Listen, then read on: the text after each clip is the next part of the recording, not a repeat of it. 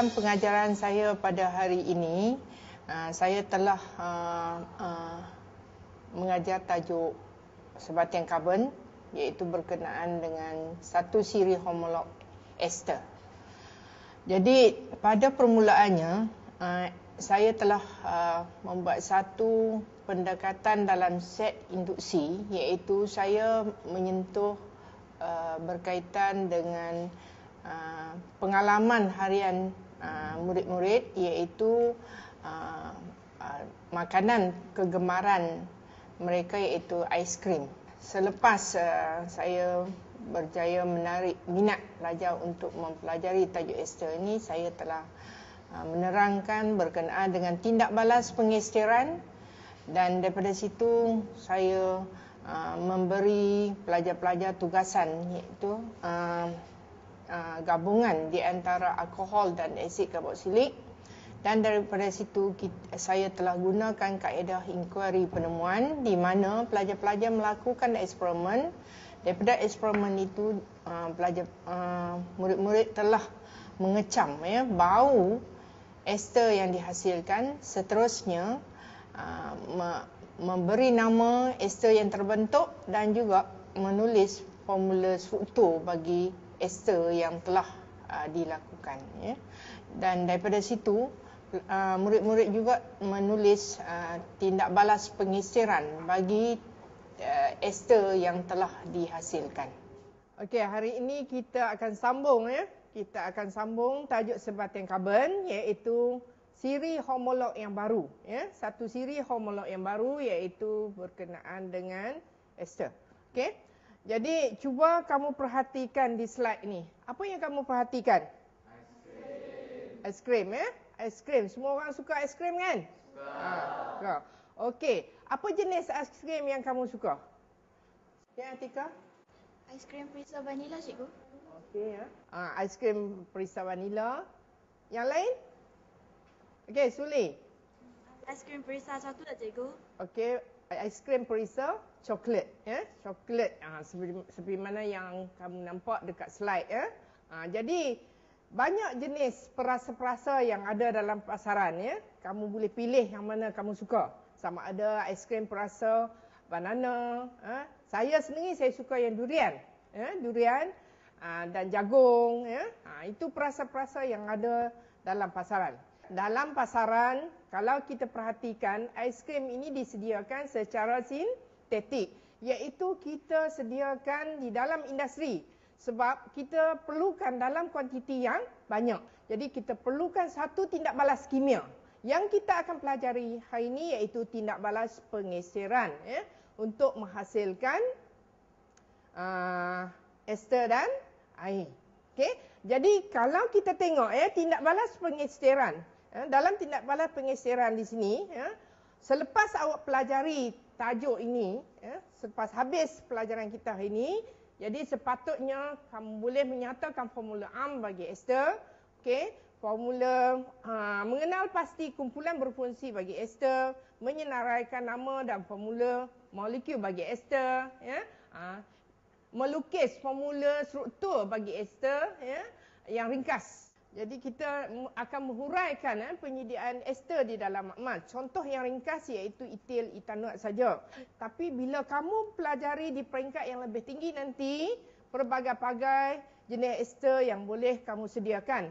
Eh. Dan kursus ini kalau kita tengok satu kursus yang cukup menarik eh, dalam kimia industri dekat universiti. Jadi kalau kamu tengok di sini eh, dan daripada situ juga kita boleh ramalkan ester yang terhasil. Dan hari ini kita akan buat pelbagai-bagai jenis ester eh, dan pelbagai-bagai bau ya. Okey dan seterusnya kita akan cuba menulis persamaan tindak balas pengesteran ya dan kita akan juga melihat sumber semula jadi ester ester dan juga kegunaan ester dalam kehidupan harian. Iaitu kalau kita tengok begitu banyak eh penggunaan ester dalam kehidupan harian. Okey, next eh kita tengok. Okey, sekarang saya ingin menerangkan apa yang dimaksudkan dengan tindak balas pengesteran. Okey? Jadi pada pelajaran yang lepas, kamu telah belajar berkenaan asid karboksilik. Okey, asid karboksilik dan juga alkohol. Jadi, selepas dua, dua siri homolog ini, kita akan tengok bila asid karboksilik bertindak balas dengan alkohol, kita akan dapat ester dan air. Okey, ester dan air. Dalam masa kita menyediakan ester, kita masukkan asid sulfurik pekat. Jadi asid sulfurik pekat. Nanti kita akan tengok apa peranan yang dimainkan oleh asid sulfurik pekat. Okey, jadi kalau kamu perhatikan di sini, ya. Formula umum bagi alkohol R C O O H. Okey? Dan kita perhatikan di sini OH dan ini alkohol, kita terbalikkan formula alkohol tu, hidrogen sebelah sini. So, uh, hidroksida dengan hidrogen ini akan bergabung untuk membentuk molekul air. Dan dia ber, sini kalau kamu tengok eh, karboksida sini akan bergabung dengan O sini dan kamu akan dapat COO. Ini adalah kumpulan berfungsi bagi ester. So R ini adalah kumpulan alkil datang daripada asid karboksilik dan R yang dash di sini datang daripada al alkohol. Okey? Jadi uh, kita tengok ya, kita tengok satu contoh ya, kita tengok satu contoh. Uh, sebelum daripada tu yang R tadi, uh, R tadi kalau kamu, te- uh, kamu tengok ya, ini CM 2M uh, campur satu ya. COO. Ini adalah datang daripada asid karboksilik. Dan yang ini datang daripada alkohol. Dan di tengah ini ialah kumpulan berfungsi. Okey, kumpulan berfungsi. Jadi M ini bermula daripada kosong ya. Satu, dua ini. Sebagaimana kita, kamu telah pelajari. Bagi asid karboksilik, dia bermula daripada kosong. Dan N ini daripada alkohol, dia bermula daripada satu ya, daripada satu. So kita tengok contoh ya, kita tengok contoh. Okey, ha yang ni tadi rumuskan yang tadi.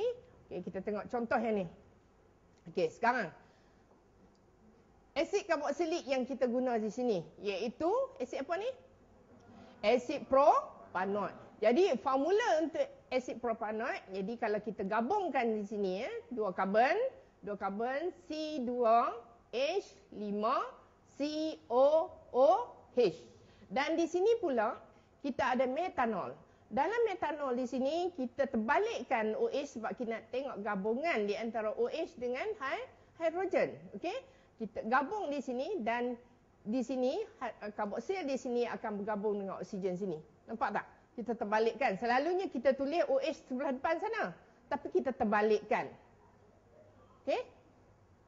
Boleh faham? Ah, okey eh. Kita. Jadi, ini kalau kita tengok sini asid propanoid dan ini adalah metanol.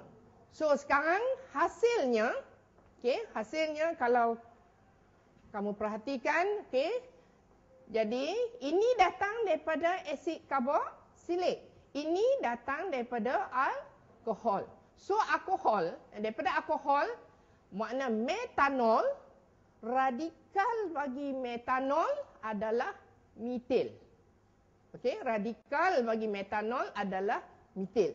Kalau kita guna etanol, bermakna radikal bagi etanol dia jadi e etil. So, asid karboksilik di sini, okey kita buang hidrogen tadi ya.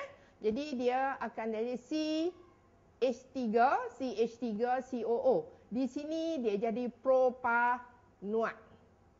Tadi propanoid dia jadi propanoid. Tukar saja OIK jadi OAT. Okey? OAT. Jadi kita dapat sini metil propanoid. Okey, metil propanoid dan air disingkirkan. Okey, sebelum tu ya. Ha, jadi sebelum tu dalam campuran, eh, dalam campuran di antara asid karboksilik dan alkohol di sini, kita juga campurkan asid sulfurik pekat. Okey, bila kita campurkan asid sulfurik pekat, apa peranan yang dimainkan oleh asid sulfurik pekat? Kalau okey, jadi sebagai pemangkin cikgu. Sebagai pemangkin. So uh, kamu telah pun belajar dalam tajuk rate tajuk kadar tindak balas ya. Kadar tindak balas kita gunakan mangkin dengan tujuan untuk untuk apa? Untuk apa? Siapa boleh tahu? Kenapa kita gunakan mangkin? apa tujuan kita guna makan mangkin? Amirul? Untuk mempercepatkan kadar tindak balas, cikgu. Okey, untuk mempercepatkan proses ataupun dengan lain perkataan untuk meningkatkan kadar tindak balas dan tindak balas di sini ialah tindak balas pengesteran. Okey, jadi peranan asid sulfurik di sini ialah sebagai mang mangkin dan mangkin itu meningkatkan kadar tindak balas. Satu lagi ialah untuk sebagai ejen pendehidratan. Okey, ejen pendehidratan iaitu dikeluarkan uh, dikeluarkan molekul air di sini. Sebab itu dalam masa kita menyediakan ester, semua radas kita mesti kering. Ya? Jadi dia berkait dengan tindak balas uh, tindak balas seimbang ya. Jadi yang kamu akan belajar di peringkat yang lebih tinggi. Okey, ya. Jadi daripada apa yang saya telah terangkan kepada murid-murid ya, kita dapati asid karboksilik bila bertindak balas dengan alkohol kita dapat ester dan air. Jadi untuk hari ini ya, kita akan menyediakan ester. Eh, kita akan menyediakan ester, pelbagai jenis ester dan uh, kamu dipecahkan kepada empat kumpulan. Ya. Kumpulan yang pertama, kamu diberi campuran ya. uh, etanol, asid etanoik dan juga asid sulfurik. Okey, asid sulfurik. Okey. Jadi uh, ini tugasan untuk kumpulan yang lain. Kumpulan dua misalnya, ya, kalau kumpulan dua uh, kamu dikenaki mencampurkan etanol, asid butanoik dan asid sulfurik. Kumpulan tiga, ya, metanol, ya, metanol karbon uh, bilangan atom karbon dia satu, asid butanoik dan juga sulfurik asid, asid sulfurik asid. Okey. Uh, dan uh, kumpulan yang keempat ya, butan satu all. Bermakna butan satu all ni uh, OH pada karbon pertama. Butan satu all uh, asid etanoik dan juga asid sulfurik pekat. Okey. Dan bilangan titis yang uh, kamu akan campurkan untuk alkohol 20 titis, asid karboksilik 6 titis dan asid sulfurik pekat juga 6 titis. Ya. Okey, seterusnya daripada sini ya. Okey, kita tengok sedikit uh, uh, prosedur ya. Uh, prosedur untuk menyediakan ester. Yang pertama, kita panaskan air 100 cm padu air ya. Jadi tujuan kita panaskan air ini untuk untuk menyediakan kukus air. Bermakna dalam penyediaan ester nanti ya, tabung didih kamu mesti dipanaskan dalam kukus air. Okey. Jadi sebagaimana yang kita tahu ya, kukus air adalah kita gunakan untuk memanaskan bahan-bahan yang mudah me- meruap. Ester ni adalah bahan yang mudah meruap. Ya, yang mudah meruap. Jadi kita tidak boleh panaskan secara terus. Ya, kita gunakan kukus air. Okey, seterusnya. Jadi setelah kamu campur ya, campuran yang saya terangkan tadi, campuran bahan tindak balas, tabung didih itu kamu masukkan di dalam kukus air dan panaskan dalam uh, kukus air itu selama 1 sehingga 2 minit. Selesai kamu panas selama 2 minit, tuangkan kandungan itu dalam satu beaker lain yang kamu masukkan air sejuk. Okey? Masukkan air sejuk. Lepas tu kamu kenal pasti bau ester yang terhasil. Sebab empat-empat kumpulan ni saya berikan uh, campuran yang berbeza dan kamu akan hasilkan ester yang berbeza dengan mengenali bau bagi setiap campuran tersebut, hasil tindak balas tersebut. Okay? Jadi sebab itu kita boleh hasilkan dalam industri berbagai jenis ester. Sebenarnya ester yang terhasil bergantung kepada pelbagai jenis campuran di antara asid karboksilik dan alkohol. Boleh faham? Ha, Okey. Eh? Jadi, um, hari ini agak menarik. Eh? Agak menarik. Jadi, saya akan bagi semasa kamu uh, uh, lakukan eksperimen nanti, saya akan bagi satu uh, lampiran kerja dan isikan eh. Apa yang perlu kamu buat dalam dalam apa ni semasa kamu buat eksperimen eh? Yang pertama sekali kamu mesti kenal pasti ester yang terbentuk ya. Kenal pasti lukiskan formula. Sebelum dia tu bila kamu masukkan ester yang terhasil itu ke dalam air dan kamu cuba kenal pasti bau dia ya. Dan jangan sekali-kali hidu secara terus. Jadi kamu kipas ya. Ha, saya tunjuk macam ni. Setelah kamu tuang ya kamu kipas macam tu saja ya. Saya sebab kamu tidak tahu bau ester yang terhasil ya. Sama ada dia terlalu kuat dan sebagainya. Saya takut nanti ada orang yang uh, tak tahan dengan bau tersebut. Ya, jadi kipas dia, uh, kita hanya nak tahu, nak kenal pasti dan nak mengecam apa bau yang terhasil. Ada yang bau durian, ada yang bau pisang, oren dan sebagainya. Ya, jadi nak kamu kena pasti. Daripada situ kita akan tentukan nama bagi ester yang terhasil. Okey, boleh faham kaedah ni? Ha, okey. Jadi saya rasa uh, uh, semua bahan berada di depan dalam uh, uh, apa ni di depan kamu.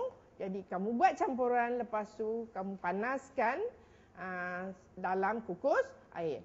Tapi dalam eksperimen ini cuba hati-hati. Yang pertama, asid sulfurik pekat yang digunakan adalah bahan yang sangat menghakis okey yang sangat menghakis. Jadi elakkan daripada terkena tangan dan sebagainya. Okey? Dan ester adalah bahan yang mudah terbakar. Eh yang sangat meruak dan mudah terbakar. Okey? Ha, jadi sekejap lagi kamu boleh mulakan eksperimen.